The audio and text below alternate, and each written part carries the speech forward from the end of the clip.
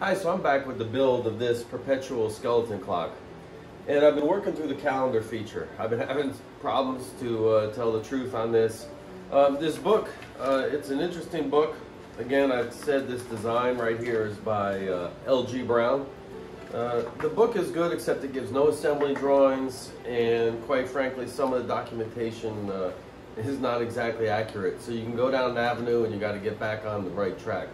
I think I've finally got it figured out. That's what I'm going to do during this video is show uh, how this works. Uh.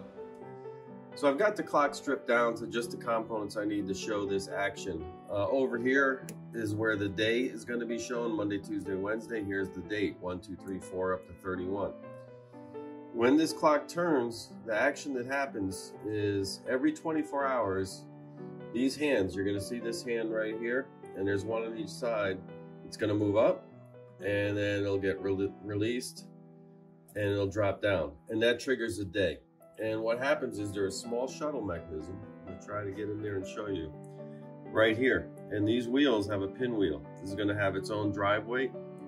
And so when there's pressure on this, as this is coming around, this cylinder, much like a grandfather clock charming for a bell, um, excuse me, this wheel, this will move up, it'll get released one step, and then when it drops down, it'll release again, and it'll go around, it'll progress the dial hand uh, that, that is up here one day. So that's how that works. Very simple on the day, uh, works perfect, straightforward. The trick is the calendar. The calendar, again, remember we have to worry about leap year every four years. So the way that works is down here, we've got a month cluster um, that tells us what day of the, what month it is. And there's 12 different parts on this. Let me show you the drawing. So here you see the drawing of this cam. This is the most important cam for the month cluster. And it's got a different height, and I talked about this before for each month the lowest being February, the highest being January. It's got this other wheel that has a, a height step that will sit and it'll eclipse the lower portion of February. So when February has 29 days, this piece will get in the way and won't go as low. So we'll show you how that works and it progresses along. So here's the month cluster. What happens is there's a cam. There's a cam here and you'll see this as this goes around, it's gonna go back and this is gonna release this piece. This is once a month. Remember, this ratchet will travel, there's 31 teeth on this.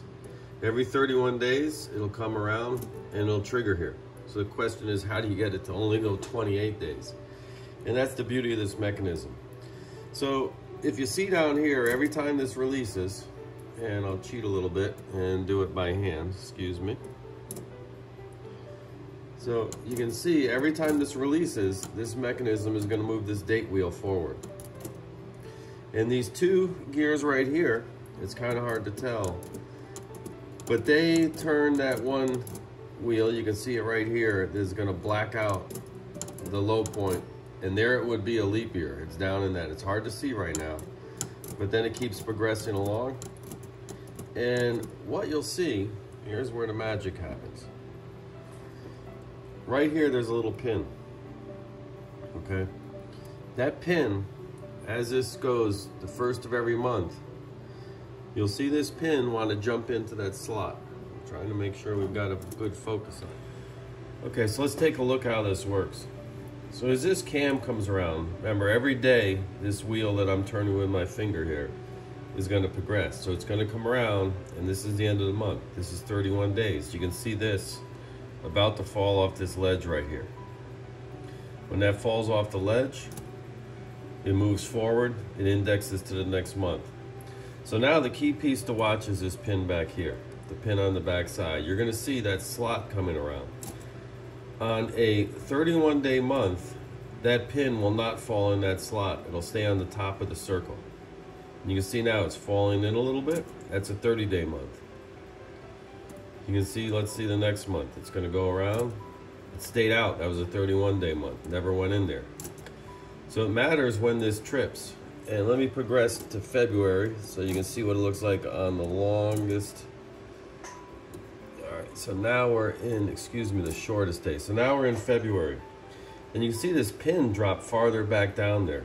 So what's going to happen is when it comes around February, and going to be a 28 day February, it's going to come in and you're to see that pin.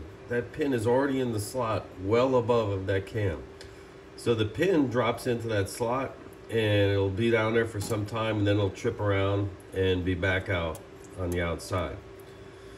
Now let's get to what happens. This is the trick. So here's the trick to the whole thing. This lever right down here is what every day of the week, remember we saw that before, where it comes around, this little wheel will get trapped and it'll get released. And that shows you one day.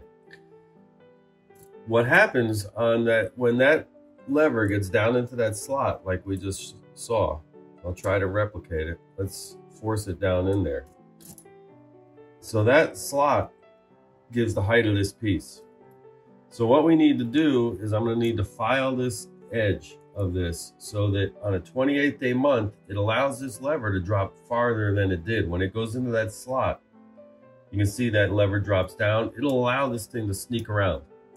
And it, there's a timing action of when it sneaks around, you got to catch it on the first one or the second one or the third, depending upon how many days you want to skip.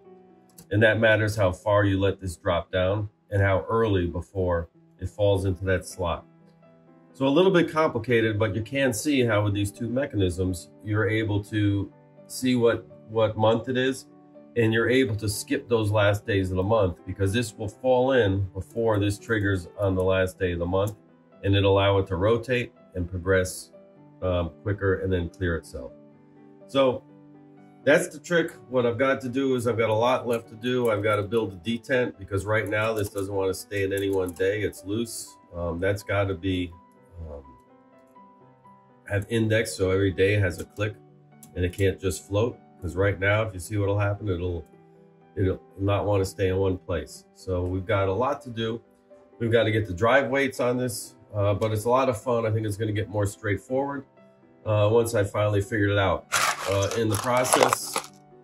You can see here I made a lot of scrap parts. Um, there was a lot of fitting and figuring, not right yet, but at least I know how it works. So we'll get to more of this and be back with you soon. Thanks and please subscribe.